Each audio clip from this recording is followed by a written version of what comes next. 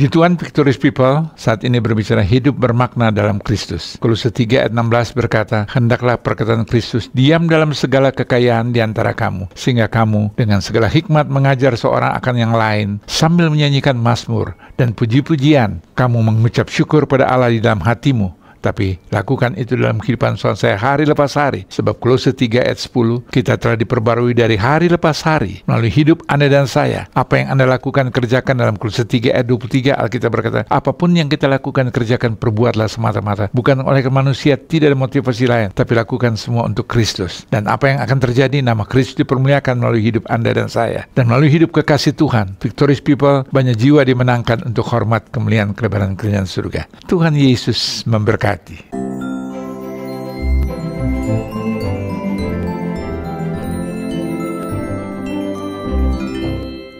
Shalom, puji Tuhan. Ayo kita bersyukur pada uh, siang menjelang sore hari perkenanan Tuhan. Kita boleh ada di minggu yang baru, karena itu mari kita siapkan hati kita untuk memberikan yang terbaik buat segala kebaikan yang Tuhan sudah berikan bagi kita. Mari kita padukan iman kita, kita masuk dalam hadirat Tuhan. Bapak dalam nama Yesus kami naikkan syukur, hormat kepada Tuhan bahwasanya Tuhan baik dalam hidup kami. Engkau sudah menyertai memelihara hidup kami sepanjang minggu yang telah berlalu. Dan engkau perkenankan kami boleh ada di minggu yang baru Tuhan. Kami datang kepada Tuhan untuk meninggikan, memuliakan Tuhan atas kebesaran Tuhan dalam kehidupan kami. Karena itu Tuhan layak kuduskan kami untuk masuk dalam hadirat. Untuk mengalami perjumpaan dengan Tuhan. Supaya ibadah kami ibadah yang penuh janji kemenangan. Urapi semua kami Tuhan. Hamba-hamba Tuhan yang terlibat pelayanan. Baik tim pemuji bahkan hambamu yang akan menyampaikan kebenaran firman. Tim doa, Tuhan kolektan penerima tamu sama-sama kami diurapi, diberkati. Supaya kami boleh menjadi tim kerja yang luar biasa, yang penuh kuasa untuk mengundang hadirat Tuhan. Untuk membawa jiwa, untuk mengalami dan berjumpa dengan Tuhan. Segala roh yang bukan dari Tuhan kami tolak dalam nama Yesus Kristus. Dan biar kuasa Tuhan bekerja, memenuhi tempat ini sehingga kami berdoa. Biarlah Tuhan yang bekerja, roh Tuhan yang menuntun setiap jiwa-jiwa yang lapar, yang haus, Paulus yang butuh kebenaran, butuh keselamatan untuk datang memenuhi tempat ini. Terlebih dipenuhi kemuliaan Tuhan. Terima kasih Tuhan. Kami siap beribadah, kami siap melayani dan memuji Tuhan. Dalam nama Yesus Kristus kami bersyukur berdoa. Mari yang percaya katakan amin. Puji Tuhan. Haleluya. Mari saudara kita naikkan ucapan syukur kita buat setiap penyertaan Tuhan. Amin. Kami bersyukur buat penyertaanmu di sepanjang kehidupan kami.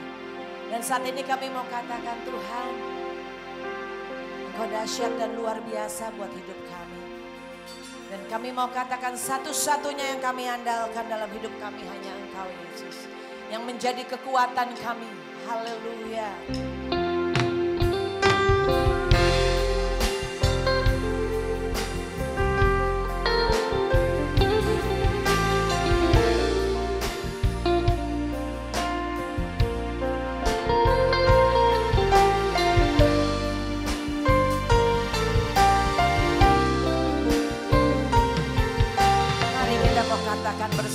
Bersama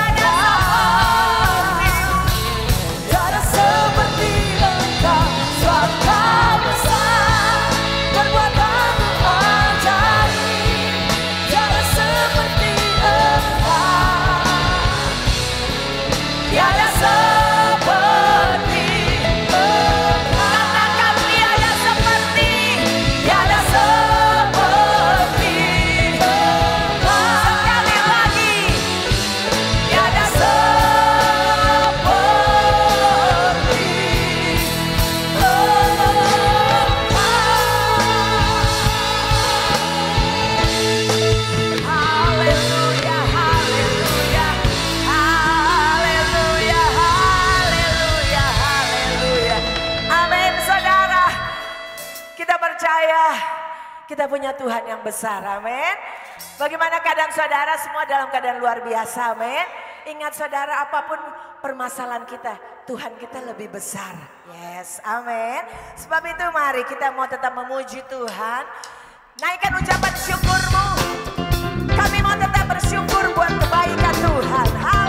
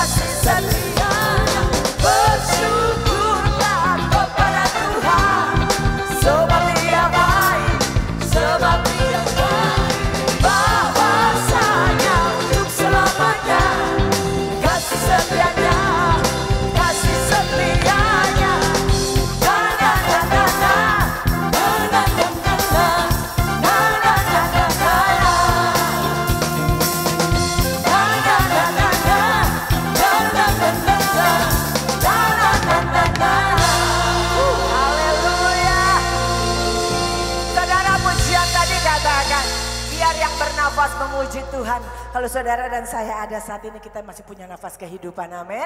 Sebab itu kita masih mau tetap bersuka cita bersorak-sorak. Dan kita mau katakan terima kasih kalau engkau Yesus mau menjadi sahabat bagi kami. Sahabat yang tidak pernah meninggalkan kami. Haleluya. Woo.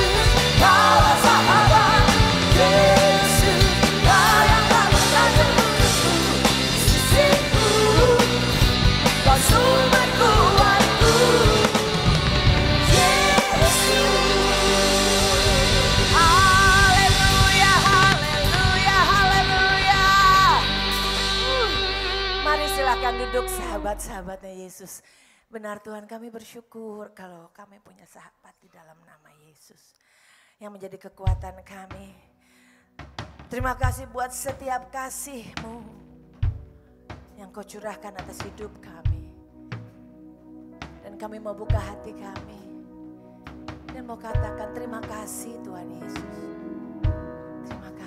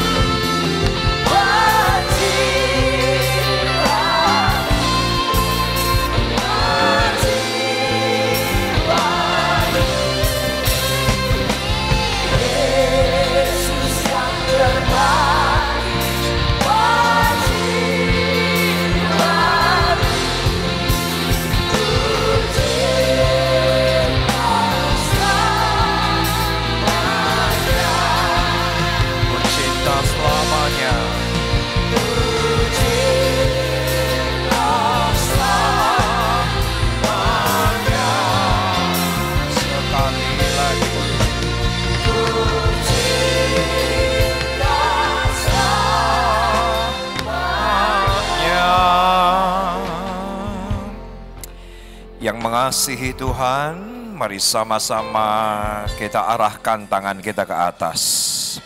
Karena semua yang baik datangnya dari atas yang oleh karena cintamu engkau anugerahkan firman.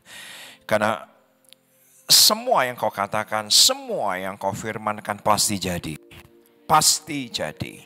Karena semua jadi oleh karena firman. Yang tidak ada menjadi ada, yang tidak mungkin menjadi mungkin, yang mustahil menjadi tidak mustahil. Dan kami tahu Engkaulah yang melayakan kami untuk menerima yang kudus yang datang dari atas. Dan kami lebih daripada siap. Kau pakai hambamu yang hina, yang paling hina daripada antara orang yang paling berdosa sekalipun. Oleh karena kasih karunia aku dengan penuh keberanian menyampaikan apa yang roh katakan dalam hatiku. Dengan bahasa yang mudah kami mengerti, kami pulang tidak sama seperti kami datang. Diubahkan oleh kuasa firman yang sakit disembuhkan, yang lemah dikuatkan, yang terikat dilepaskan, yang terbelenggu dimeregakan. Sama-sama yang siap menerima kuasa firman dengan suara keras, kita katakan amin. Puji Tuhan. Maaf saya belum bilang silahkan duduk. Itu kurang sopan karena sebelum dipersilahkan udah duduk duluan. Jadi sebelum duduk tolong di extend tepuk tangannya untuk para pemusik, untuk para pemuji, dan juga untuk diri Anda sendiri. Tepuk tangan yang hebat. Silahkan kembali duduk, puji nama Tuhan, Shalom. Maaf saya tidak tanya apa kabar karena kehadiran Anda sore hari ini membuktikan Tuhan baik. Saya ingin lihat tangan-tangan yang mengalami kebaikan Tuhan, katakan kepada sebelah kanan kiri dengan ketaatan ngerti nggak ngerti bilang begini, Yesus teh bager pisan. Te ayah nusiga Tuhan Yesus teh bager nakacida. Tepuk tangan bagi Tuhan kita. Sepanjang pagi dan siang saya melayani di House of Shalom Bintaro. Dan tadi jam 1 saya bersama dengan Pak Konrad bisa beribadah bersama-sama di Plaza Indonesia. Dan rasanya impresi yang saya terima dari Roh Kudus saya akan tetap mengkhotbahkan yang saya khotbahkan sepanjang pagi, siang, dan menjelang sore tadi. Yaitu adalah kebun buah-buahan. Saya berikan judul tema khotbahnya yaitu kebun buah-buahan. Nah, saudara yang biasa mencatat itu sebetulnya kebiasaan mulia. Kebiasaan mulia, yaitu mencatat. Karena dengan mencatat kita menghormati Tuhan. Tolong katakan dia. Saudaraku, dengan mencatat berarti kita menghormati firman. Bahkan saya berani bilang ketika Anda datang ibadah, Bukan karena kita merasa bosan dengan firman dan merasa sudah tahu akan firman. Tapi dengan kerendahan hati kita tetap mencatat pasti ada pewahyuan baru. Pasti ada pertolongan dari firman. Kenapa? Karena semua yang dikatakannya pasti jadi. Tetapi kalau dicatat, karena ketika Anda mencatat, sebetulnya Anda sedang menolong diri Anda sendiri. Percaya saya. Anda sedang menolong diri Anda sendiri. Karena saya tahu persis ketika saya khotbahkan hari ini, Rabu besok Anda sudah lupa apa yang saya khotbahkan tiga empat hari sebelumnya. Apalagi misalnya 10 hari mendatang, sudah ketumpuk dengan khotbah yang lain. Dan akhirnya lewat begitu saja janji Tuhan akan Anda dan saya. Karena kerinduan Tuhan pelayanan kita, pekerjaan kita, perkawinan kita, keluarga kita adalah kebun buah-buahan. Ya benar ini arti figuratif. Katakan bersama dengan saya figuratif ini adalah arti kiasan, tetapi Yesus pernah berkata, jadilah kehendakmu di bumi seperti di sorga. Saudaraku, sorga bukan lokasi. Bagi yang tertarik boleh catat, sorga adalah situasi. Katakan amin. Saudaraku, sorga bukan bukan lokasi. Sorga lah situasi. Perkawinanmu bisa sorgawi. Pelayanan kita bisa sorgawi. Keluarga kita bisa sorgawi ibadah kita bisa sorgawi. Karena sorga itu bukan lokasi. Dan saya tahu persis, inilah yang Tuhan rindukan atas semua kita yang ada di ruangan ini. Tuhan ingin kehidupan kita adalah kehidupan kebun buah-buahan. Yang tertarik mencatat, langsung dicatat ada tiga prinsip. Yang pertama, kebun buah-buahanlah sesuatu yang disengaja. Katakan bersama dengan saya disengaja. Belum semua, katakan bersama dengan saya disengaja. Saudaraku, saya dapat contekan dari Pak Konrad. bahwa dari semua jam ibadah di apartemen Robinson ini, yang paling semangat itu yang jam 3. Loh kok nggak ada yang amin? Saya dapat saya dapat bocoran soalnya dari pengurus. Yang paling antusias akan firman Tuhan itu dari semua ibadah di apartemen Robinson. GBI Viva, yaitu adalah jam jam 3 sore. Jadi Anda harus mengekspresikan semangat Anda hari ini. Yang pertama, kebun buah-buahan disengaja. Katakan bersama dengan saya disengaja. Karena kalau itu adalah kebun anggur, disengaja hanya anggur, tidak boleh ada tomat. Ekonon cicing wae teh. Sebentar Pak lagi cari sinyal. Uh, masih loading. Siapa yang setuju dengan saya kalau itu kebun buah semangka. Sengaja hanya semangka. Tidak boleh ada apel. Tidak boleh. Kenapa? Karena pasti disengaja. Dan semua kita tahu segala sesuatu dalam kehidupan kita tidak ada yang coincidence. Tidak ada yang kebetulan. Tidak ada yang kebetulan. Kenapa? Karena selembar rambut pun yang jatuh dari kepala kita, Tuhan in his control. Bahwa dia tetap berotoritas dengan hanya selembar rambut yang jatuh dari kepala. Segala sesuatu disengaja, tidak ada yang kebetulan. Kalau Anda hari ini di ruangan ini, Tuhan sengaja. Karena Tuhan inginkan semua Anda berpindah. Dari kehidupan yang biasa menjadi kehidupan kebun buah-buahan. Hmm? Itu saya percayai. Saudaraku, ketika di satu siang, saya berkata kepada teman, aku numpang dong. Katanya, kamu mau ke, ke, ke bendungan hilir, mau serahkan dokumen. Akhirnya dia berkata, sok, tenanon, mangga, sarang abdi. Dan ketika sampai di bendungan hilir, teman saya berkata, saya cuma urusan sebentar sama klien. Lima menit selesai, jadi kamu tunggu aja di mobil, mobilnya ber-AC, kamu tinggal duduk manis di mobil, nanti saya serahkan dokumen, dan setelah saya serahkan dokumen, saya akan balik lagi cepat ke mobil. Nggak tahu kenapa. Ternyata mobilnya AC-nya ngadat, panasnya luar biasa. Dan ketika ngadat panas luar biasa, jadi saya berkeputusan untuk turun dari mobil mengikuti teman saya yang masuk ke kantor itu. Yang sebetulnya saya tidak punya urusan karena itu bukan klien saya. Tetapi apa yang terjadi? Ternyata ketika teman saya menyerahkan dokumen tersebut, yang terima adalah Elsa. Gitu ceritanya. Dan saya berkata, aduh iya awewe menigelis ki, mual ayah nusgah ki di Ciwidey teh, meni herang ngaburinya. Tenang saya akan terjemahkan, Anda nggak perlu cari Google Translate. Juga toh bingung Anda ketiknya gimana. saya berkata, ini perempuan cantik banget sih. Nggak ada perempuan kayak begini di Ciwidey, pastinya nggak ada. Kenapa? Karena Elsa ayahnya Jerman Chinese, ibunya Belanda, Prancis, Portugis. Dia bingung pilih yang mana ketika Piala Dunia tahun lalu. Tetapi teman saya berkata bilang, jangan dia Kristen. Satupun keluarga kamu tidak akan pernah setuju kalau kamu nikah dengan Kristen. Dan akhirnya kami menikah. Karena jatuh cinta dengan pandangan pertama. Bukan Elsa yang jadi Islam. Tapi saya yang menjadi Kristen. Setuju nggak dengan saya? AC mati bukan kebetulan. Masa harus gue ulang lagi sih khotbahnya? Tidak ada yang kebetulan di hadapan Tuhan. Tolong katakan ya, untung AC-nya mati. Kalau nggak jadi mati, nggak jadi pendeta Muhammad Iza Solihin, ya nggak sih? Sesuatu yang simple, sederhana. Setelah itu kami beribadah di GBI, naon namanya teh. Kalsa Pemuda Betani. Gereja yang begitu hype, begitu happening ketika zaman itu. Dan dari rumah saya harus lewatin Patal Senayan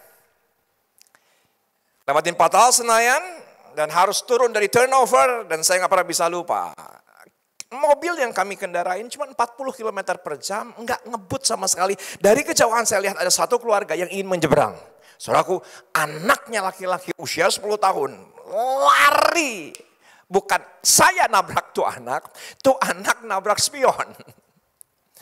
Dan ketika anak itu nabrak spion ini yang bikin uh, merepotkan. Yaitu satu kampung Palmerah keluar.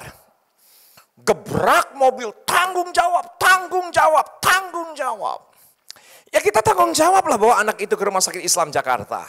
Di sekitar Semanggi. Dan ketika sampai di sana, ya tidak ada apa-apa, cuman goresan. Tetapi saya berkata kepada Elsa isi saya, minggu depan saya tidak akan lagi ke Betani Kasa Pemuda. Karena harus lewat jalan itu. Itu traumatik luar biasa. Gebrakan orang, ngamuk yang tiba-tiba itu traumatik sekali. Dan Elsa berkata, jadi kita mau ibadah di mana dong? Kita ibadah saja dekat sawangan. Dekat rumah kita yang digembalakan oleh ayah kandung pendeta Dr. Insinyur Niko Nyotora Harjo. Saudaraku keadaannya jauh lebih gak enak dibandingkan Karsa Pemuda yang begitu hype, begitu happening. Waduh saudaraku, itu yang namanya ibu-ibu pada zaman itu luar biasa, udah kayak pesta rohani setiap minggu. Sampai di sawangan orang sederhana. Orang-orang sederhana, mereka mengais sampah pasar. Mereka hidup dengan binatang piaraannya di sekitar rumah. Orang-orang sederhana. Dan saudaraku apa yang terjadi? Saya mengambil keputusan, sudahlah daripada lewat jalan itu lagi ke Senayan, kita ibadah saja di tempat ini. Yang akhirnya ketika Om Nyo meninggal dunia di usia 85, Pak Niko meminta saya untuk menggantikannya. Setuju nggak dengan saya? Tidak ada yang kebetulan. Anak kecil tabrak spion. Ngerti itu sih.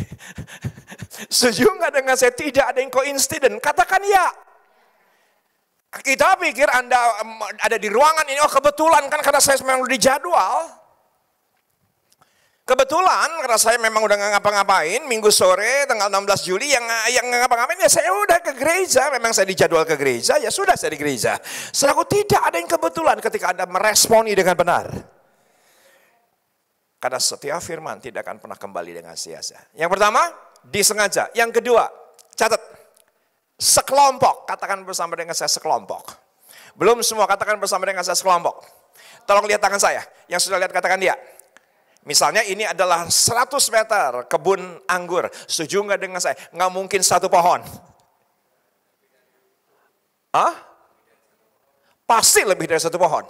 Saudaraku saya minta maaf, saya minta maaf. Tidak akan pernah ada seorang pun orang Kristen sendirian berhasil. Karena kita membutuhkan orang lain menolong kita. Hmm? Saya tahu proses betapa pentingnya komunitas rohani. Saya tahu proses betapa pentingnya komsel. Bagi yang tertarik boleh catat. Kata Kristen di Alkitab 6 kali muncul. Kata murid dalam Alkitab 320 kali muncul.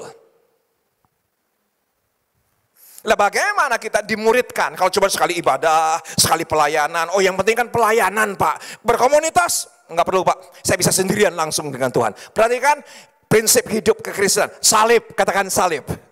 Ada vertikal dan ada juga horizontal. Katakan ya. Tidak bisa cuma karena kita ada di panggung dan kita tidak sediakan mesbah. Menurut saya komunitas iman itu mesbah. Walaupun cuma 10-20 orang. Mungkin Anda berkata, oh saya kan udah udah udah udah udah udah udah, udah pengalaman Pak pelayanan Pak. Puluhan tahun Pak saya di FIFA Pak. Bahkan sejak zaman rem saya sudah di FIFA. Saya nggak butuh orang lain Pak. Yang penting langsung dengan Tuhan. Maaf, rohani Anda sakit. Mm -mm. Karena kebun buah-buahan setuju nggak dengan saya pasti sekelompok pohon. Eh, kunaon cicing wae. Ya nggak sih? Pasti sekelompok pohon. Nggak mungkin sendirian. Saya ini punya hobi ikan koi. Sudah 15 tahun kali saya pelihara ikan koi. Dari mana saya tahu kalau ikan koi itu sakit? Kalau menyendiri, pasti sakit. Kalau udah sembuh, pasti gabung lagi sama kelompoknya. Oh pak saya nggak tahu, makanya saya kasih tahu kan gitu.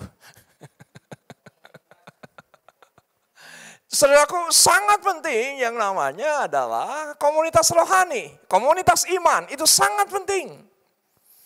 Saya bersyukur di gereja kami ada family altar pada zaman itu. Elsa yang mengambil keputusan untuk ikut family altar. Ya saya kadang-kadang ikut, kadang-kadang enggak. Tetapi ketika di family altar, saya jadi bisa berdoa. Di family altar malah saya bisa sharing firman Tuhan. Pak, Bu, sampai detik ini saya tidak pernah sekolah Alkitab. Sampai detik ini saya tidak pernah sekolah teologi. Ya. Sampai detik ini saya tidak pernah sekolah seminari sehari pun. Saya bisa berkhotbah hari ini lulusan Komsel.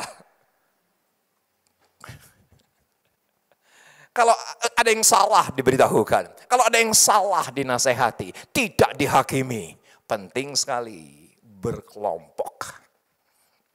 Ketika anak kedua saya meninggal dunia, saudaraku, beberapa orang berkata Muhammad Lisa Solhin gak bakal kuat. Pasti dia akan balik lagi jadi Islam. Gak bakal kuat. Ketika anak keempat saya meninggal dunia, Saudaraku, beberapa pendeta bilang gini, Muhammad Nisa Solin pasti balik lagi mu'alaf, nggak bakal kuat. Ikut Kristen malah dua anak mati. Tapi saya mengucap syukur dengan komunitas iman yang selalu menguatkan. Yang selalu mendoakan. Ketika saya lemah, didoakan oleh mereka. Hari ini saya ada oleh karena komunitas iman. Yang pertama, disengaja. Yang kedua, sekelompok. Catat yang ketiga, ini penting. Buah tidak dinikmati oleh pohon. Buah tidak dinikmati oleh pohon, tidak dinikmati. Yang namanya pohon anggur tidak menikmati anggurnya, yang menikmati sekitarnya, katakan dia. Ketika Anda menikmati semua yang baik yang datang dari Tuhan, tidak berhenti di situ. Orang di sekitar kita harus ikut menikmati. Anda yang menikmati keselamatan, saudaraku orang yang di sekitar harus menikmati keselamatan yang Tuhan anugerahkan dalam kehidupan kita. Kita menikmati kebaikan Tuhan. Orang-orang yang di sekitar kita harus menikmati setiap kebaikan yang kita terima. Tidak boleh berhenti di dalam kehidupan kita. Saudaraku beberapa hari yang lalu saya mengunjungi rumah ibu saya yang sedang yang sudah renta hampir 80 tahun. Ketika pulang saya menuju carport dan saya temukan ada pohon ya sependek inilah rasanya ternyata uh, buahnya adalah buah apel. Ibu saya beli di Trubus. Dan ketika saya lihat kejauhan kuning menarik hati. Ketika saya liatin dan akan melangkah, ibu saya bilang gini, ulah cicing. Didinya guys ulah dikumaha-kumahakeun ulah dicokot ulah didahar. Pokok nama geus we naon eta aya didinya. Tenang itu bukan bahasa roh. Saya akan terjemahkan. Ibu saya berkata jangan diambil jangan melangkah. Diam saja hanya dilihatin doang. Setuju nggak dengan saya? Nggak ada gunanya itu buah. Karena buah harus dinikmati. Tolong katakan ya betapa banyak orang Kristen hanya pajangan Betapa banyak orang Kristen. Terima anugerah ya cuman buat saya. Ya akhirnya di gereja cuman hiasan. Cuman pajangan, tidak dinikmati, cuman dilihat doang. Tapi kalau Anda berkata, ya saya mau kehidupan saya ada kebun buah-buahan. Anda harus mengerti bahwa semua rencana Allah dan respon kita penting. Yang kedua, kita harus berkelompok dalam komunitas iman. Dan ketiga, yaitu bahwa kita sadar hidup kita harus dinikmati, bukan hiasan dan pajangan. Sampai di sini oke? Okay? Tepuk tangan bagi Tuhan kita. Tepuk tangannya fals. Saya tahu kebaktian jam 3 bisa lebih baik tepuk tangannya. Oke, okay. seraku kita lihat ayatnya. Yesaya 32. Ketika Anda baca Yesaya 32, ayat ini kaya dengan figuratif. Bisa diperlihatkan? Yesaya 32, Cici Multimedia, bisa diperlihatkan?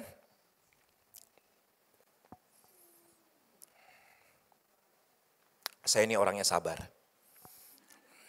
Jadi sebelum diperlihatkan, saya tidak akan baca ayatnya. Anda tahu kenapa? Karena memang saya nggak hafal. Gitu kan? Oke. Ci, kakak, mana ayatnya? Yesaya 32.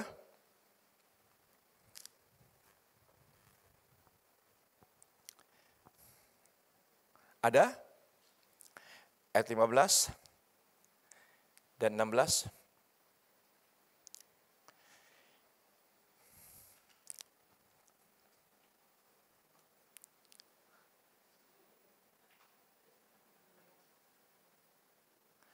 Ada sih?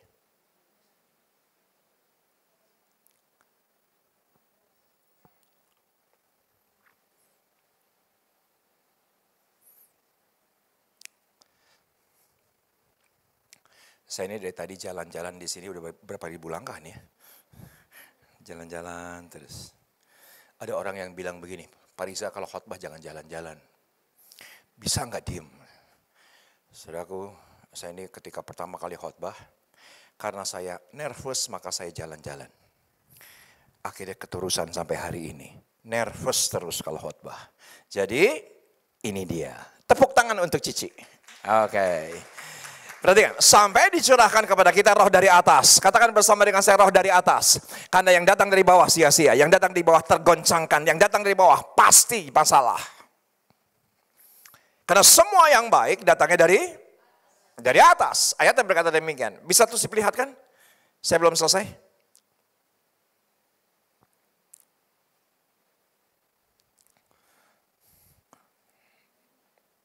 Maka padang gurun akan menjadi kebun buah-buahan. Dan kebun buah-buahan itu akan dianggap hutan. Jadi hanya roh kuduslah yang mengubahkan. Bukan khotbah, bukan teologi ya. Bukan chord, bukan aransemen. Karena Tuhan kita nggak butuh dihibur. Tolong katakan ya. Saudara semua datangnya dari atas. Sorga nggak butuh penghiburan. Yang penting adalah ketika kita pastikan hadirat roh kudus nyata. Itu yang mengubahkan. Hadirat Roh Kudus yang menyatakan dirinya itulah yang memulihkan. Saya nggak pernah bisa lupa tahun 1999 di titik terendah kehidupan saya. Setelah 20 tahun menggunakan narkotik. Eskalasinya 20 tahun semakin hari semakin hebat. Dan tahun 1999 seperti biasanya saya ke kantor pagi, seperti biasanya yang saya cari adalah narkotik, tetapi saya temukan sabu hanya tinggal beberapa hisap di atas aluminium foil dan tidak cukup. Ya, saya dapati tatakan kaca, ya cuman beberapa bubuk kecil sekali hisap juga habis. Akhirnya sampai siang saya udah merasa sakau karena nggak dapatin barang karena tidak pernah tidak kurang dari 3-4 jam saya tidak mengkonsumsi sedangkan hari itu saya nggak pakai sama sekali. Tapi saya merasa kuat, terhibur. Kenapa? Karena di rumah masih ada 5-6 gram. Saya langsung menuju ke rumah sore hari itu sepulang kantor. Dan saya dapati ternyata saset heroin yang seharusnya 5-6 gram. Itu sudah dalam keadaan basah. Nah dalam keadaan basah saya tahu persis pasti ketahuan sama Elsa. Dan saya kejar Elsa mana barangnya. Elsa bilang sudah dimasukin ke toilet dan sudah di flush. Dan saudaraku itulah puncak kehidupan padang gurun dalam kehidupan perkawinan kami. Perkawinan kami 9 tahun bukan sorga terjadi di bumi. Neraka terjadi di bumi. Karena sorga neraka itu bukan lokasi, itu situasi. Tolong katakan ya. Ketika saudaraku ada damai sejahtera, ada ketenangan, maka itulah kebun buah-buahan. Itu surga di bumi. Tapi ketika kebohongan demi kebohongan, kebohongan yang ditutupi dengan kebohongan, hanya saling menuntut, saling menyalahkan, itu bukan surga, itu neraka. Dan puncaknya malam hari itu Elsa sudah bersimpuh darah. Karena Elsa berbulan-bulan dirawat oleh dokter THT. Kuping, darah, segar keluar, telinga, darah segar keluar, itu menjadi sebuah keseharian. Dia dirawat oleh dokter THT berbulan-bulan, sembilan tahun, padang gurun terjadi. Tapi malam hari itu ketika saya cari senjata tajam untuk ditusukkan, tiba-tiba bele putih saya yang terbesar keluar dari kamarnya, memasuki kamar kami, dan Bele berkata, Papa stop, jangan terus siksa mama. Mama sudah terlalu tersiksa. Senjata tajam itu terlepas. Ketika senjata tajam itu lepas, saya ingat Belle raih tangan mamanya. Yuk doa lagi sekali lagi buat papa. Dan akhirnya mereka doa, saya nggak ingat apa yang mereka doakan. Mereka nyembah Tuhan, satu lagu lama. Kau ku sembah, Kau ku sembah. Selesai mereka pujikan lagu itu dan berdoa. Mereka menumpangkan atas tangan atas saya. Dan sejak itu hidup saya diubahkan. Dari padang gurun menuju kebun buah-buahan. Langsung instan jadi hutan? Tidak. Sepakat gak dengan saya ini proses? Nggak mungkin saudaraku tiba-tiba yang namanya kebun tiba-tiba jadi hutan. Ya bukan kebun dong, ya hutan. Tapi ayatnya berkata, itu kebun buah-buahan menjadi hutan. Karena dinikmati oleh banyak orang ketika Anda dalam keintiman dengan Tuhan, keintiman dengan firman, keintiman dengan apa yang Tuhan taruhkan dalam hidup Anda dan Anda manifestasikan dalam hidup. Maka apa yang terjadi? Buah itu dalam hidup kita bukan sekadar kebun, menjadi hutan. Saya bersyukur dengan sembilan, sorry, saya bersyukur dengan sembilan, ya Mei. No, salah. Saya bersyukur dengan 23 April. Ya betul, 23 April. Kenapa? Karena hari itu saya pelayanan di dua gereja, yaitu di uh, eh, MNC Tower, juga di gereja ini, dan juga di Plaza Indonesia. Kenapa menjadi hari yang tidak mudah saya lupakan? Karena bukan bukan berarti saya melupakan khotbah saya tiga kali kebaktian pada saat itu, tetapi yang paling berkesan di hari itu itu hari Paskah 2023. Ketika saya bangun pagi, Elsa sudah berhias. Saya berkata, kamu ke mana hari ini? Aku kan diundang dua gereja untuk khotbah empat kali kebaktian.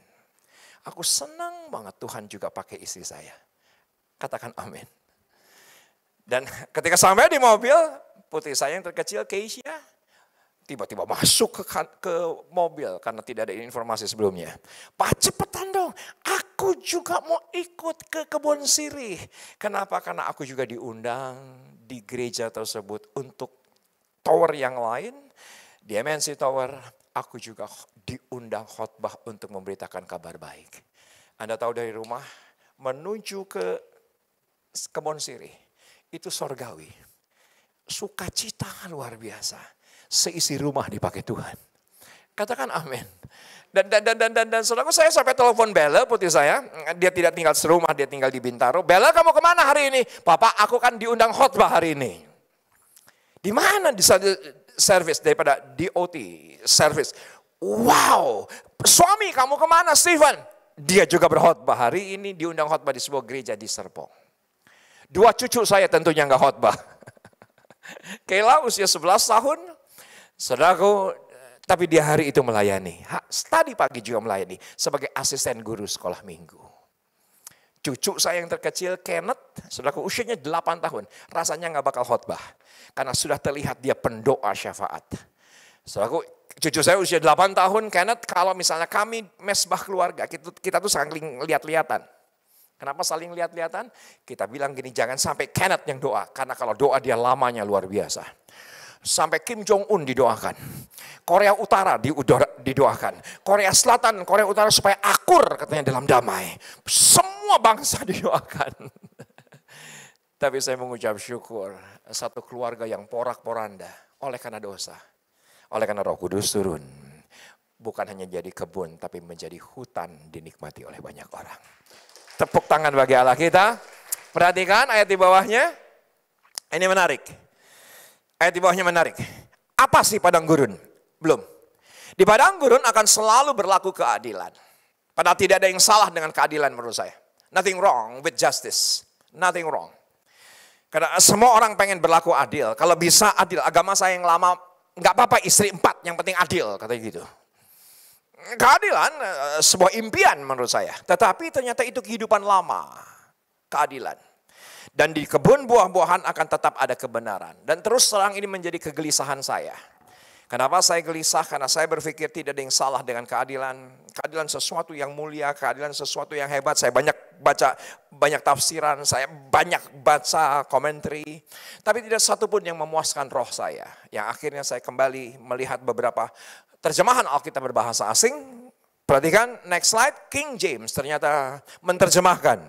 Dan saya bisa mengerti kehidupan bu, kebun padang gurun adalah kehidupan yang dipenuhi dengan judgment.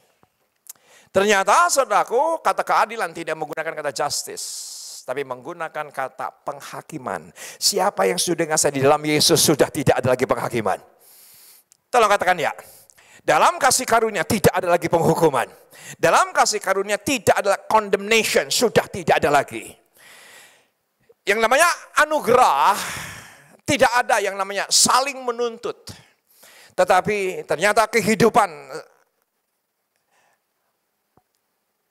padang gurun adalah kehidupan yang menuntut keadilan. Menuntut dan akhirnya ada yang namanya penghakiman, ada yang namanya penghukuman, dan ada yang namanya intimidasi. Karena saya tahu persis, saya tahu persis. Perhatikan slide berikutnya, tidak seorang pun bisa berlaku adil. Tolong katakan ya. Tidak ada seorang pun bisa berlaku adil. Kepada siapa pun menurut saya. Walaupun mungkin kepada dirinya sendiri bisa lah.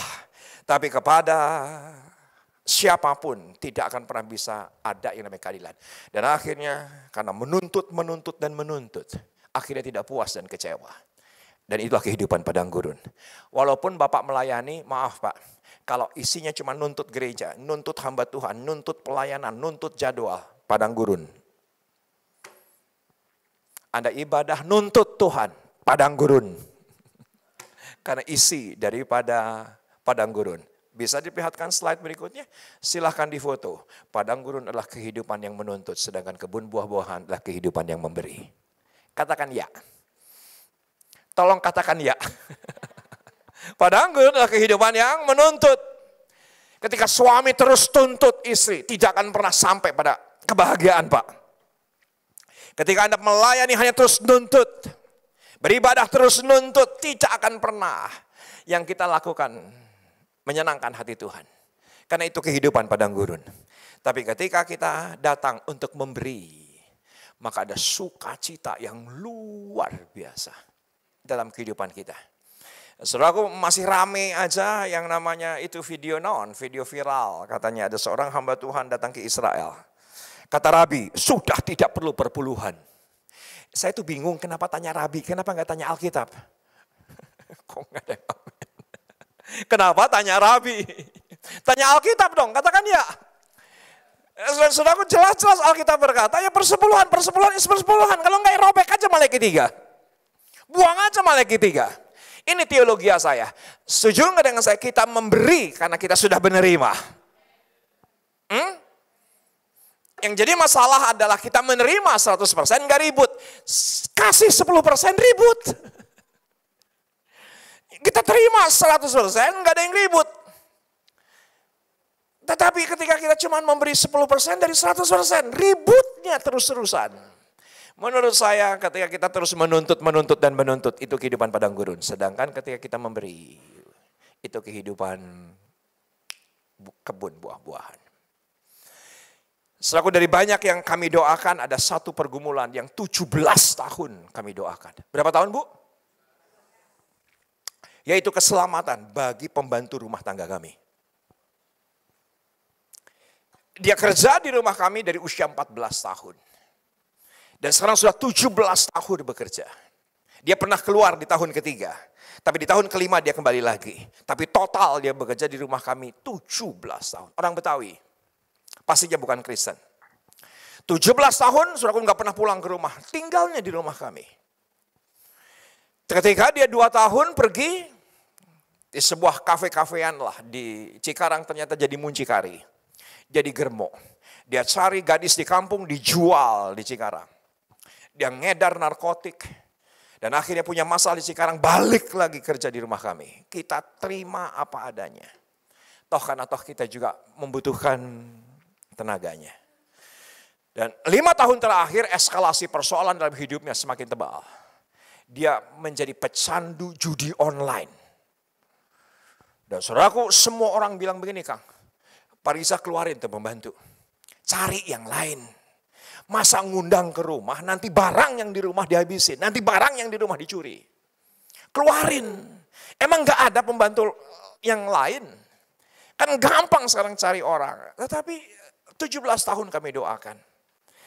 Dan saya berkomitmen kepada Elsa, dengan Elsa, yuk kita beri apa yang kita punya. Kenapa? Karena lima tahun terakhir ini, saudaraku yang naon teh, uh, penagih hutang datang, penagih gadean datang, motor digadein, handphone digadein.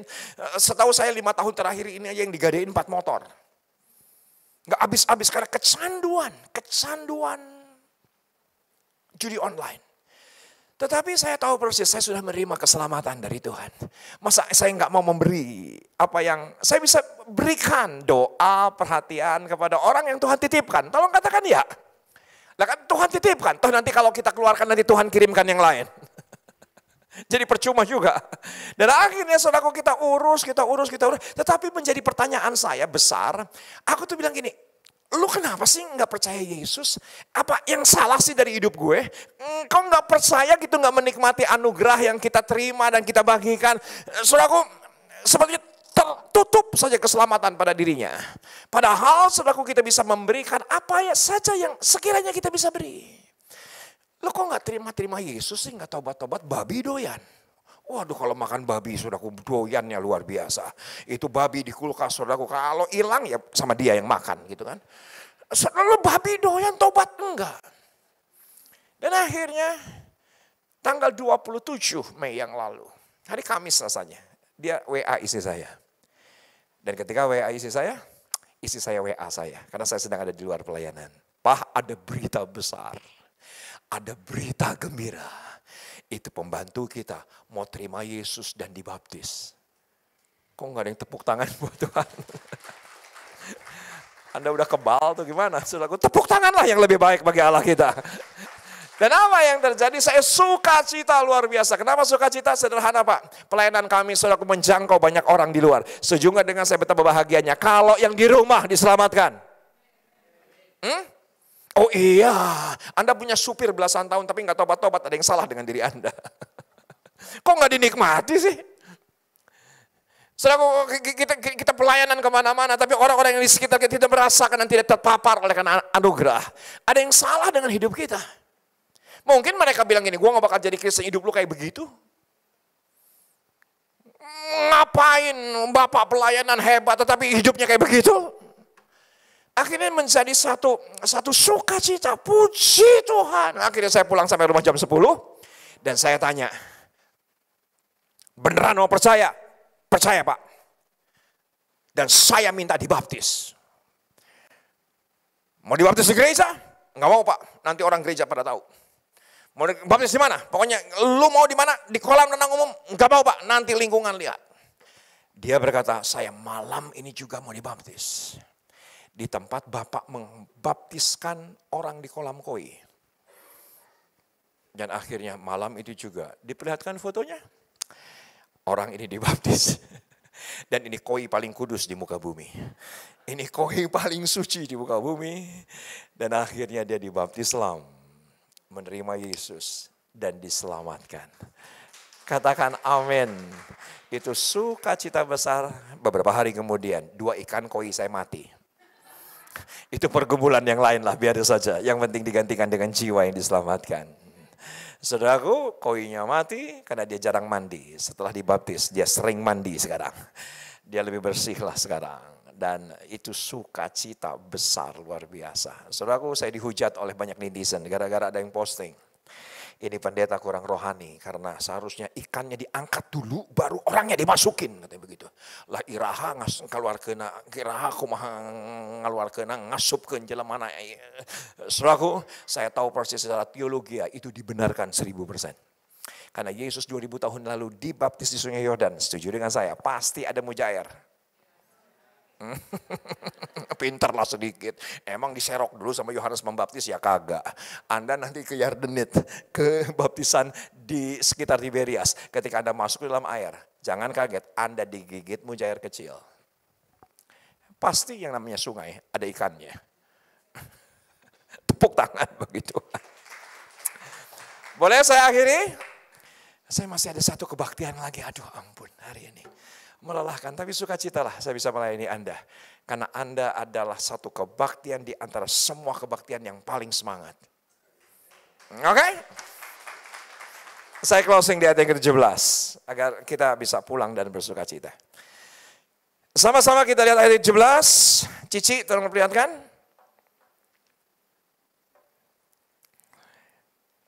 Bukan yang ini. Di mana ada kebenaran di situ tumbuh damai sejahtera. Katakan ya. Dan akibat kebenaran ialah ketenangan. Dan ketentraman untuk selama-lamanya. Sangat penting, tenang. Katakan bersama dengan saya tenang. Saudaraku, ketika Anda mengambil keputusan di puncak ketenangan, pasti benar. Pasti benar. Ketika Anda harus mengambil keputusan di untuk bisnis Anda kah, perkawinan Anda kah, keluarga, tenangkan dulu, pasti benar. Dan perjanjian baru berkata, jadilah tenang supaya bisa berdoa. Alkitab nggak bilang begini, berdoalah lebih keras supaya jadi tenang. tenang dulu, baru bisa doa. Dan ketika Anda di kebun buah-buahan, ada ketenangan. Dalam ketenangan ada sukacita, dalam ketenangan ada damai sejahtera, dan dalam ketenangan ada jalan keluar. Boleh saja ada tantangan, tolong katakan dia. Tapi kalau tenang, kita bisa melewati tantangan. Kenapa? Karena di setiap pergumulan sekalipun, sepaket dengan jalan keluar. Bisa diperlihatkan slide-nya? Karena kerajaan sorga bukan soal makan dan minum. Bukan soal berkat materi. Tapi soal kebenaran, damai, sejahtera, dan sukacita oleh roh kudus. Next slide. Anda silakan foto berikut ini. Kehidupan buah-buahan bukan hidup tanpa tantangan, tapi ketenangan, ketenteraman dalam melewati tantangan. Katakan bersama dengan saya melewati. Belum semua, katakan bersama dengan saya melewati. Saudaraku ternyata yang namanya lembah kekelaman kita cuma lewat doang kok. Kita tidak akan dwell in di dalam lembah kekelaman. Kita tidak akan ada selamanya di lembah kekelaman. Dan saya tahu persis walaupun tantangan sebesar COVID-19 saya bisa bersaksi kepada Anda. Mungkin terlalu panjang untuk bersaksi. Tapi gereja kami, gereja kampung di Sawangan. Jauh lebih kampung lah dibandingkan dengan jembatan dua. Ya namanya juga di kampung. Orang-orang sederhana. Tapi gereja kami diselamatkan oleh karena COVID-19 diselamatkan luar biasa. Hari ini enam kali kebaktian, jumlah yang hadir jauh lebih banyak daripada sebelum COVID. Pelayanan kami semuanya yaitu hybrid. Satu konten saja bisa menyentuh 2 juta viewers. Saudaraku di setiap tantangan tetap ada jalan keluar. Tolong katakan amin. Saudaraku karena sepaket, katakan bersama dengan saya sepaket. Next slide. Saya minta tolong eh, lagu tenang itu tenang banget tuh pemain keyboardnya. Enggak tahu dengar khotbah apa enggak. Perhatikan saudaraku kehidupan kebun buah-buahan bukan soal hal materi. Tapi rasa cukup dan mentalitas yang berubah. Karena kerajaan sorga bukan soal makan dan minum. Tetapi soal kebenaran, sukacita. Dan saudaraku menurut saya materi itu berkat yang terendah. Tolong katakan ya. Hah? Materi berkat yang terendah. Karena ayatnya berkata, untuk apa kita raih dunia ini kalau kita kehilangan keselamatan. Setuju dengan saya, keselamatan itu segalanya. Bukan hal materi. Tapi banyak orang menjadi salah fokus, melayani salah fokus, yang akhirnya karena salah fokus kecewa. Karena hidupnya masih di padang gurun. Ini doa saya Jangan pernah salah fokus yang kita cari kebenaran. Maka semua akan ditambahkan. Bangkit berdiri perlahan. Oke lagunya? Golf. Golf.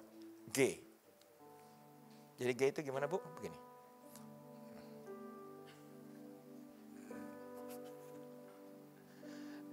Kurasakan kasihmu Tuhan.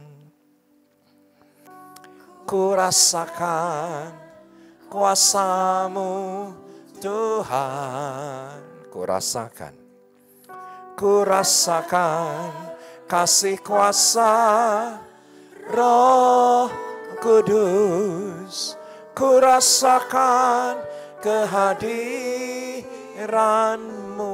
Angkat tangan tinggi. Ku rasakan kasihmu Tuhan. Ku rasakan kuasamu Tuhan. Ku rasakan Ku rasakan kasih kuasa. Roh Kudus Sukan Angkat tangan kanan lebih tinggi. Cerahkanlah.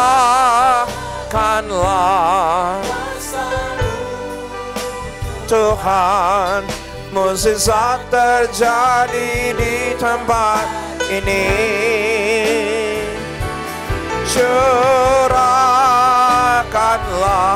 kuasamu Tuhan Mukjizat terjadi sekarang. Ini Lebih lagi, lebih lagi. Serahkanlah kuasamu Tuhan. Mukjizat terjadi di tempat ini. Curahkanlah. Kuasamu Tuhan Mukjizat terjadi sekarang. Ini Mukjizat Mukjizat terjadi sekarang. Ini Sekali lagi. Mukjizat terjadi sekarang. Ini. Dengan kepala tertunduk kita berdoa Bapak terima kasih untuk sesuatu yang Allah sengaja, Allah desain, Allah rancangkan. Sore hari ini kami menerima firman karena semua jadi oleh karena firman karena apa yang keluar dari mulut Allah tidak akan pernah gagal. Materaikan atas kami. Karena kami tahu kami ada di ruangan ini dengan sengaja untuk hidup kami bisa dinikmati oleh banyak orang. Kami bersyukur untuk wahyu yang Tuhan nyatakan, memberikan kekuatan kepada kami, kami pulang tidak sama seperti kami datang. Kami dimerdekakan. Sama-sama yang diberkati Tuhan, dengan suara keras kita katakan amin. Senang bisa melayani Anda, Tuhan Yesus memberkati. Sampai ketemu tahun 2024. Senang bisa melayani Anda. Bye-bye. Thank you. Silahkan kembali duduk. Puji Tuhan. Saya masih harus satu tempat lagi.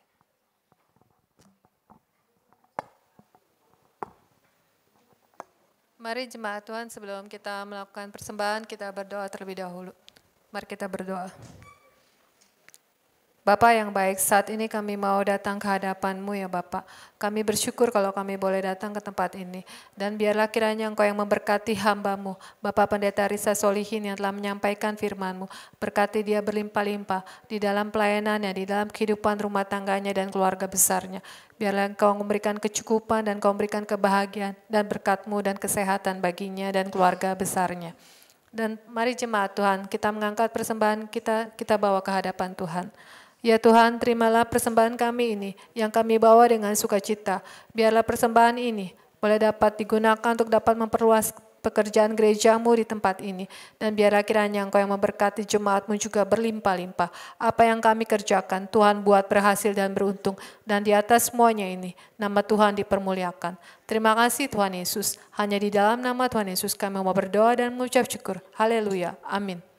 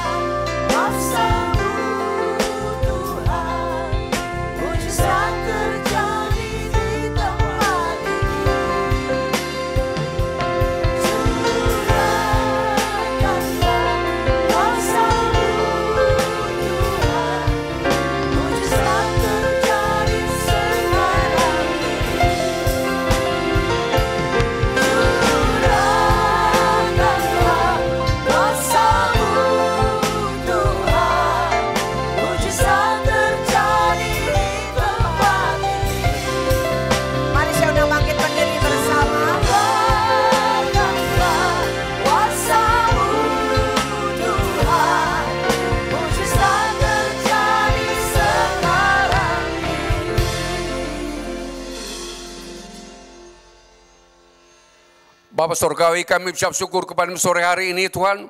Kami sudah pertebal keyakinan kami lewat firman sampaikan Luisa Solihin yaitu pesta yang sudah berkati luar biasa. Dan kami pun merasakan Tuhan urapan rohmu turun atas kami sehingga kami pulang dengan sebentar Tuhan dengan sorak-sorai kemenangan. Pasti Tuhan yang sakit engkau sembuhkan, yang lemah engkau kuatkan, yang susah engkau hiburkan, yang berba- berbahan berat Tuhan engkau angkat, bahkan Tuhan engkau berdosa sekalipun engkau ampuni. Sehingga apabila kami pulang sebentar Tuhan, kaya jasmani, kaya rohani, dan kaya materi surgawi. Terima kasih Bapak dan memberkati semua rekan-rekan yang melayani, baik Tuhan, baik WLC tim musik, ya Tuhan, penerima tamu, kolektan juga dan pendoa syafaat. Dan kami semua berkumpul sama-sama di persatuan satu Bukit sehingga kami dengan Jumat yang jemaat yang hadir bersama-sama kami, kami saling menghormati, kami saling membangun asas kebersamaan dan kami duduk damai bersama-sama dan kami juga merasakan bahwa Engkau selalu memberkati hidup kami sehingga minggu, minggu depan pun akan bertambah jiwa-jiwa yang hauskan kebenaran pertobatan tempat ini.